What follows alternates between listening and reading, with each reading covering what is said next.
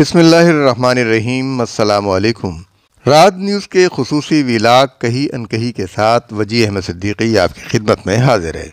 पाकिस्तान तहरीक इंसाफ अपने इंतबी निशान बैट या बल्ले के हसूल की जंग हार गई। सुप्रीम कोर्ट ऑफ़ पाकिस्तान ने बिल्कुल दुरुस्त फैसला किया है। तहरीक इंसाफ ने इलेक्शन कमीशन के तमाम अहकाम की धजिया बिखेर दी और जजों को ब्राइब किया और करने की कोशिश की। सुप्रीम कोर्ट में होने वाली समात के दौरान में नौजायदा चेयरमैन पीटीआई गौर अली खान के घर पर छापे का ड्रामा भी रचाया गया। ये सब कुछ एक तयशुदा मंसूबे के तहत होता रहा। पीटीआई के बानी की जानब से भी मुकदमात में जजों को धमकियाँ दी जाती रही हैं। नौ मई को पाक फौज के खिलाफ जो मुहिम चलाई गई, वो सबके सामने है। पाक फौज में तकसीम की दरार डाली गई। अब सुप्रीम कोर्ट के फैसले पर एक मशहूर सहाफ़ी हामिद मीर का तबसरा न सिर्फ़ तोहन अदालत है, बल्कि मुल्क को बर्बादी की तरफ़ डालने वाले दहशत गर्द की हिमायत है। हामिद मीर ने ऐसा क्यों किया? ये बात हम आपको इस वीलॉग के आखिर में बताएँगे।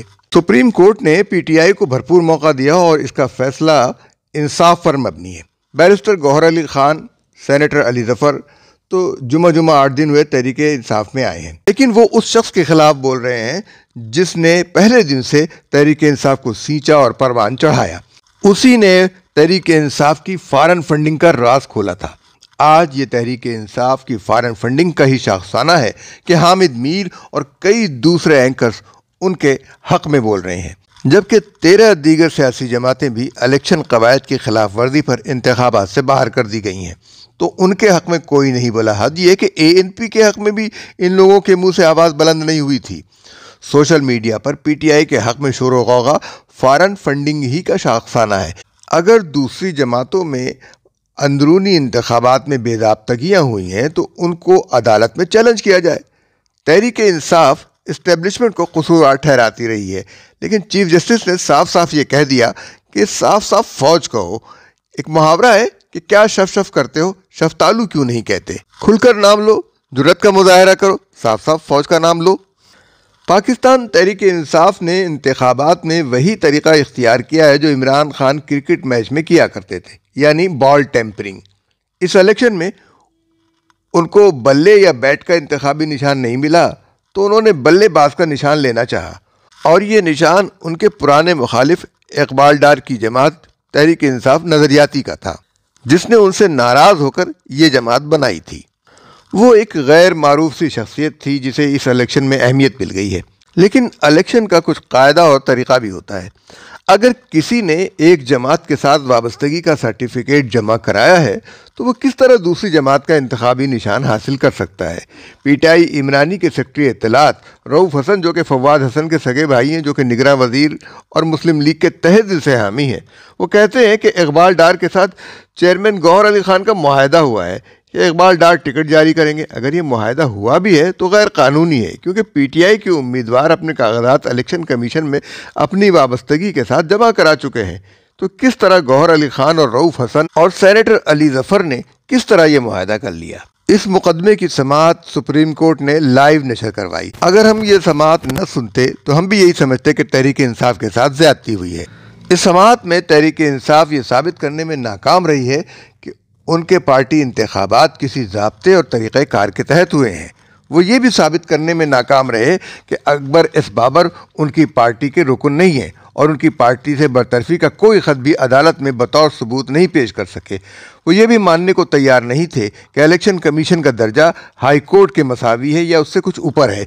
इसलिए कि आइन पाकिस्तान में इलेक्शन कमीशन का बाकायदा एक बाब है और आइन के आर्टिकल 219 सी के तहत इलेक्शन कमीशन के फ़राइद में ये भी शामिल है कि वह इंतबी ट्रिब्यूनल कायम करे, यानी अदालत कायम करे। अदालत कायम करने वाले इदारे को अदालत का मरतबा और मनसब भी हासिल होता है। उसकी तोहन पर भी वही सज़ा होती है जो अदालत की तोहन पर होती है। इंतबी कवानीन आइन के आर्टिकल 222 के तहत बनाए जा सकते हैं।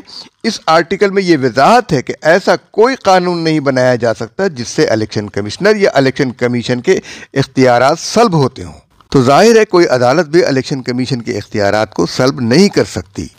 इलेक्शन कमीशन के सरबरा या किसी रुकन को अलग करने के लिए वही तरीका इख्तियार करना होगा जो किसी जज की बरतरफी के लिए इख्तियार किया जाता है। पीटीआई अव्वल दिन से इलेक्शन कमीशन को मुतनाज़ बना रही है।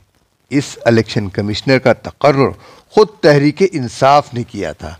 27 जनवरी 2020 को सदर आरिफ अलवी ने उनको पाँच साल के लिए इलेक्शन कमिश्नर मुकर किया था।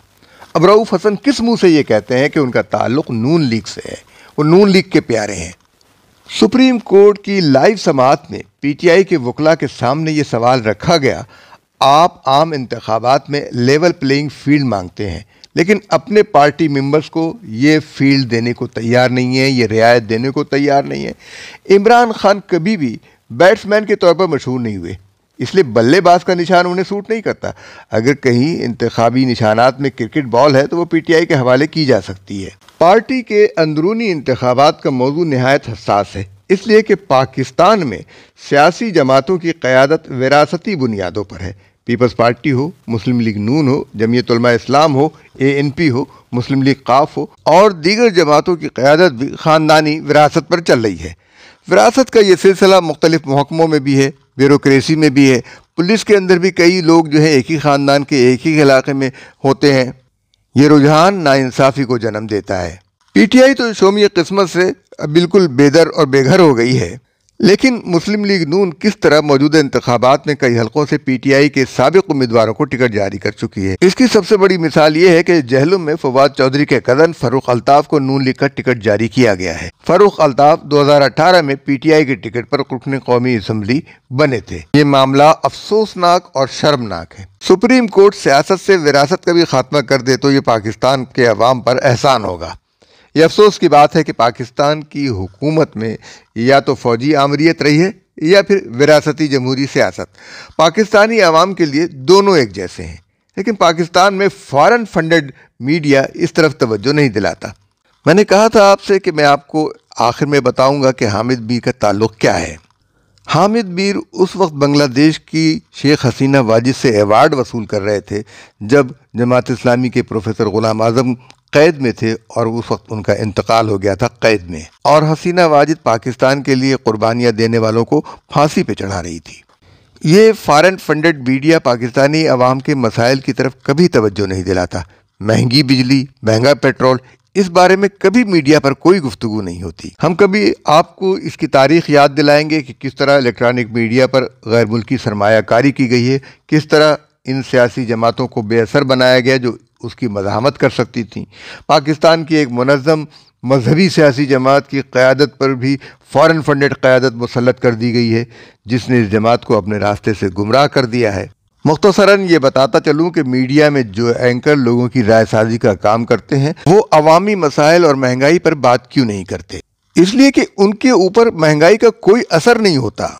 इनके बारे में सिर्फ़ ये कहना काफ़ी है कि ये लोग सहाफ़त का गला घोंट रहे हैं। आज मीडिया में आमिल सहाफ़ियों की जो हालत है, वो बहुत नाजुक है।